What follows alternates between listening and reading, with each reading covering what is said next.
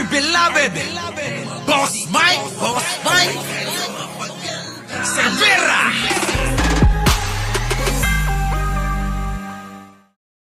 Magandang umaga, magandang hapon at magandang gabi sa amandako ng mundo. Naroon kayo. Siyempre, magandang buhay na rin para sa ating lahat.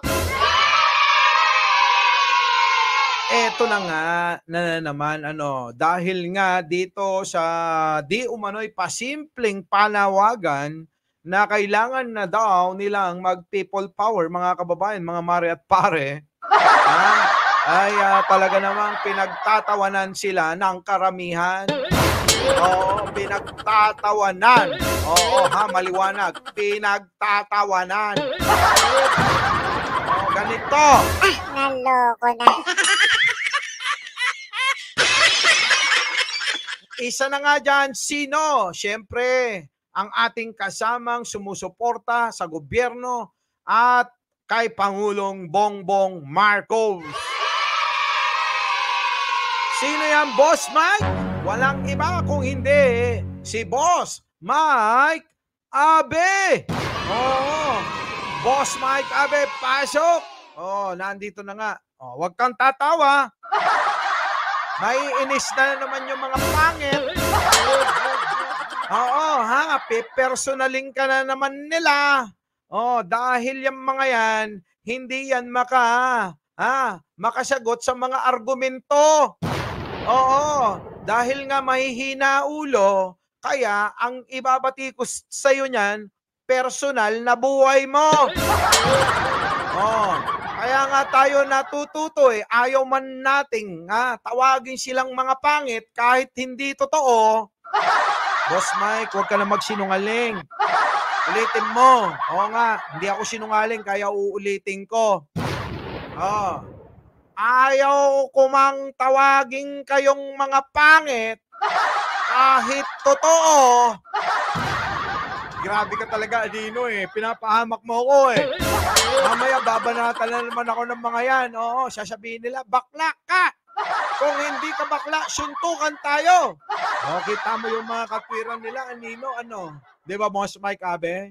Oh, katwiran eh, suntukan na lang daw kasi hindi na makaano ng argumento, makasagot. Sumagot kayo sa argumento. Hoy! Hindi porke pangit kayo, lisensya nyo na yan. Ang kinalaman ng pangit. Naloko na. Pasok, boss Mike. Pasok. talaga eh. Pasok. Usapan po natin itong uh, di umano. Matatawa ka talaga eh. Mga desperado at mga panic mood na galawan. Ah, panic mood na ang galawan. Naloko na.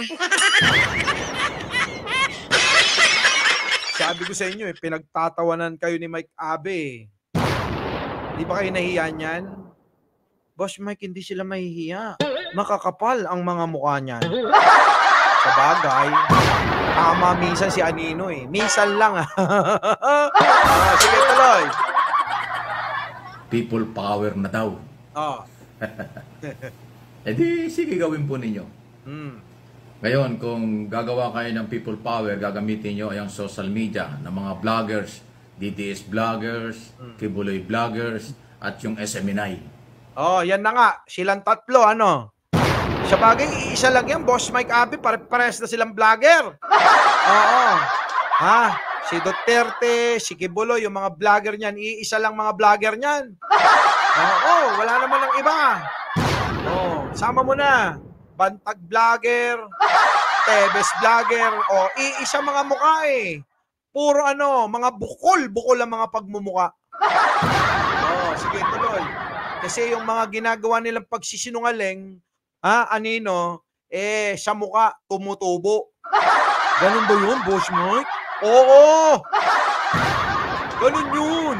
Oo, pag sinungaling ka, sa mukha mo tutubo. Tingnan mo, yung isa sa labi tumutubo, yung isa sa mukha tumutubo, yung isa sa nguso tumutubo, yung isa sa bumbunan tumutubo. Hmm.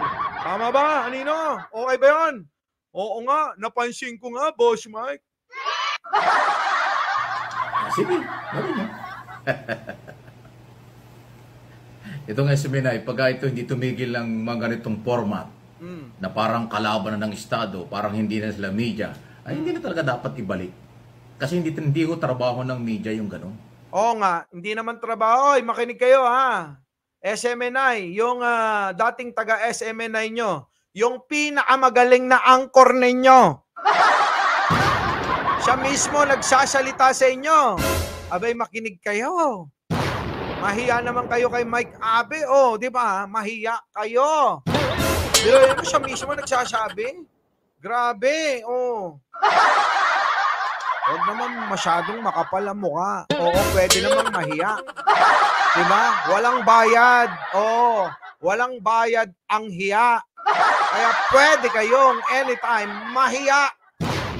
Pasok. Eh kahapon lang eh, sabagay, nung pa naman eh, kaya nga umalis ako dyan eh, lutang na lutang eh, yung pang sarili lang eh. Oh, kita nyo, napansin ni Mike Abe na pansarili lang yung mga ha, ginagawa ninyo dyan. Sa ang Boss Mike sa SMN9. Kasi dyan galing yan eh. Oh, pansin niya, o oh, ano ang ginawa ni Mike Abe? Nilayasan kayo. ha? Binalibag yung ano, yung ba yun, lapel. Kami boss ang Mike Abe, yan, yan ka na. Oh, goodbye! Ganon. Oh, di ba? Oh, sige tuloy. Di ba? Ngayon, kung kasi yung kanilang mga anchor at yung kanilang mga vlogger na mga kapanalig, Mm. ano ba tawag dyan? Kapanalig, kakampi, Mm. ah, ewan ko kung ano pa na-describe. Eh, kakulto. Pwede naman yun, ano? Kakulto. Eh, mga kulto na yata yung mga hinayupak na yan eh. Di ba? Parang mga kulto kung ano na lang sabihin ni Digong at ni Kibuloy, abay sunod-sunuran eh. Di ba? Oh, sabihin yung ganito. Yung mga vloggers naman, oh, ganito daw sabihin natin. Sabi ng poon.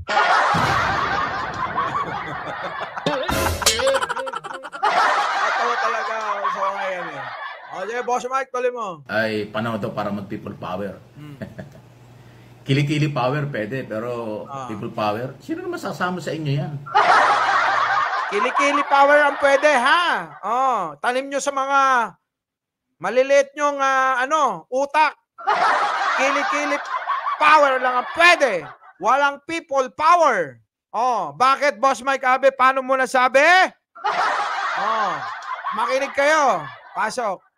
O sabihin natin yung 50,000, sabihin natin 50,000 yung member ni Kibuloy. O tapos si yung DDS ba, ilan ba sila ngayon? Ilan ba sila ngayon? Kung kay Kibuloy, 50,000. Ba't 50,000 lang? Akala ko ba milyon-milyon? Sinungaling. Oo, sinungaling ay kapatid ng magnanakaw. 50,000 lang pala kayo. Sabihin na natin, nako, conservative pa yon. No, Boss Mike Abe, conservative pa yon na binanggit ni Mike Abe. O, eh malamang sabihin mo na lang eh, more or less, 30,000. Oo. Kasama pa yung mga minor de edad. Oo. Di ba? Ah. Eh sino pa? DDS, ilan na lang ba yan? Eh di ba nga, iniwan na ng mga kapartido nila. Oo, lilima na lang yata. Yung iba, hindi pa sigurado kung totoong kanila o nagpapanggap lang na kanila. Kakaunti na rin. Hmm. Eh yung PDP Laban, eh kakaunti na rin. Nag-aalisa na yung mga member. Kaya nga. At mga opisyal ng PDP Laban. Ano sa Kaya ng tao? Ah.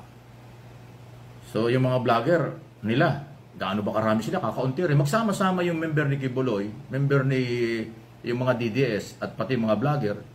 Kaunti lang yun. Konti lang yon. O, konti lang pala kayo eh. Feeling nyo, no? Marami kayo, no? Konti lang. Oo, wag asyumerot asyumera. Ato talaga ako pag nagbablog ako, mga kababayan, mga mare at pare.